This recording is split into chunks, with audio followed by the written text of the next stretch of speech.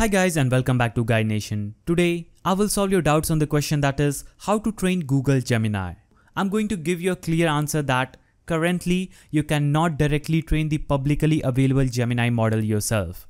Google trains Gemini on massive datasets using their own powerful infrastructure. However, there are ways to interact with Gemini to improve your experience. The first way is providing feedback.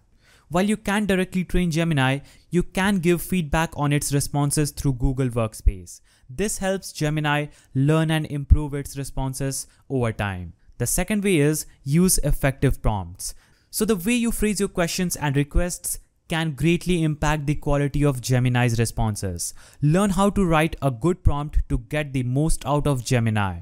If you're interested in generative AI that you can train, you can explore Google Cloud's Vertex AI platform.